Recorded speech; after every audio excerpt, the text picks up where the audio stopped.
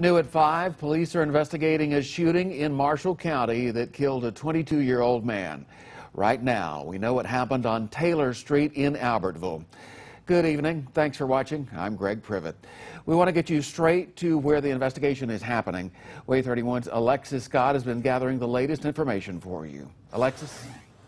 Right. Right now, what we know so far is that this neighborhood is actually fairly quiet. Um, Albertville police did tell me that the time of this shooting happened around 2.30 this morning, and a 22-year-old Colin Bailey is actually now dead after he got shot. There was some sort of altercation, um, I was told, happened around here this morning, and that is what he supposedly died from. Now, at the moment, um, the street that it happened on is actually right behind me. It's a little harder to see, but if you can just see right by that stop sign, that is exactly down the street where it did happen.